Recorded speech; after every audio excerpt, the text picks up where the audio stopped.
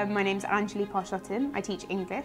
The students um, have been studying uh, Charles Dickens' A Christmas Carol. We're looking at the transformation of Scrooge and how he becomes a better person at the end.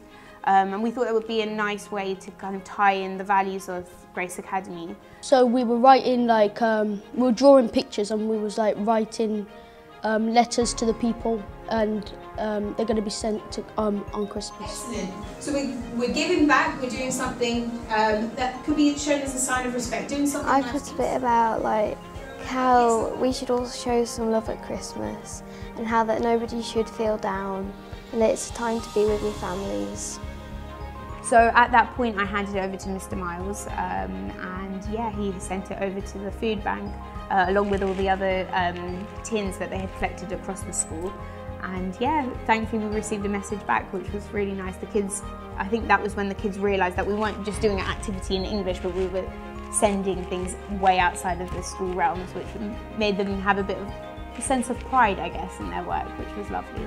It was really nice because they were showing us that they were great, that it was great for us to send them letters and that they all felt a little bit better.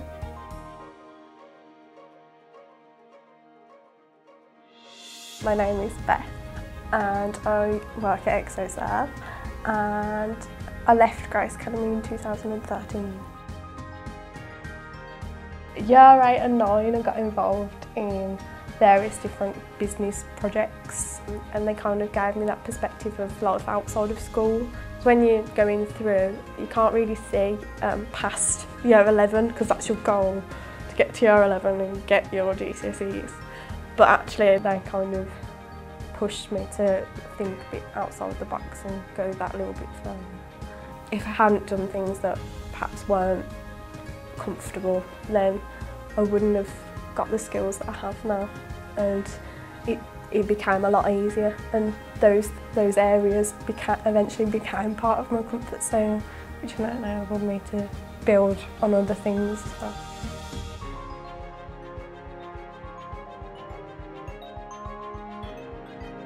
Restorative justice is about allowing people the chance to put right any harm that they've done. If something happens and it results in a negative conclusion, we would then hold a conference. We all sit down in a circle and get the chance to say, you know, what happened, what have you learnt by it, what needs to happen to put this right. And the situation was a young boy um, that something had happened quite serious with another student. They felt powerless. I was having the mum ring me every day crying because she was so worried about a child being in school. So I decided to hold a conference between the students that had been involved. In that conference, the person that committed the harm said they were sorry and they got really upset.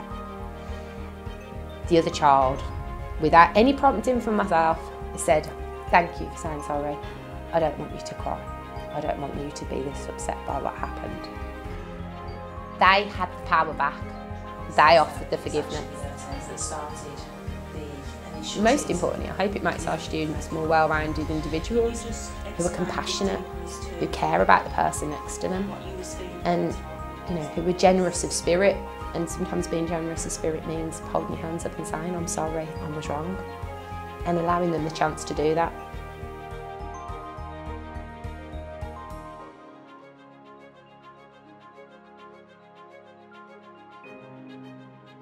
We've done quite a lot, Yeah. especially as friends as well. Mm-hmm. We've done Mischief, Misunderstood, Romance Academy. Having that club like made us realise that we all have a voice. I think it made us grow as a group as well because we all we just let go of ourselves, like let go of being so held back, mm-hmm. started relaxing more, and we got stronger as friends as well. Not gonna lie, if I like didn't have any of these clubs or anything, or like if I didn't have any like you guys, don't get big headed. if I didn't have you guys, I don't know where I would have been because like it was like really difficult because like I didn't want to express who I am because I thought like everyone would just judge me, and now like I met people who are like similar to me, like it doesn't matter how like people think about you. And yeah, we want to thank the teachers because yeah. if it wasn't for them, I don't think we'd have even yeah. taken interest in yeah. it. Yeah. Like it's just like, oh, why do I need this? Then you realize once you get into it, you're like, wow, there's more to life. yeah. Um,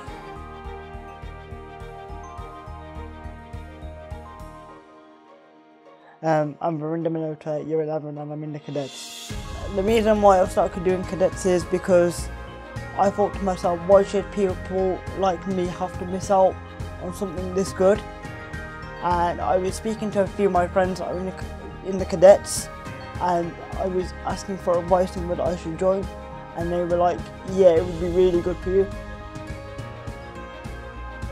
The challenges that I faced were can I can I do this with my physical being and can I do this knowing what I'm going into is going to be difficult but I proved myself wrong because I know I can do it and, and I've never looked back since.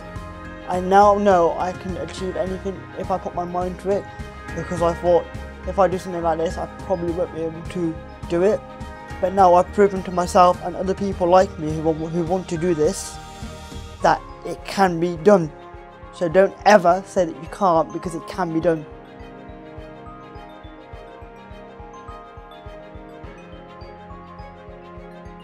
When I came to Grace Academy, I mean, they have these, um, the core values. So when you're a student here and it's kind of implemented throughout the school, you become a product of those values. Like I was here for seven years. So for seven years, I've had these core values kind of integrated within myself.